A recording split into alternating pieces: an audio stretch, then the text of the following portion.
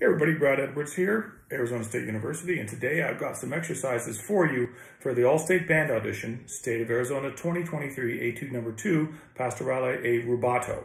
Now this is exercise 2D, and this is about details of articulation. We want to make sure that we have a clear difference between a ta and a da, and that it really is, sounds different to the listener. So this is an exercise which presents a variety of articulations and see if you can make each one sound different from the other. Clarity is the goal here. Try it out.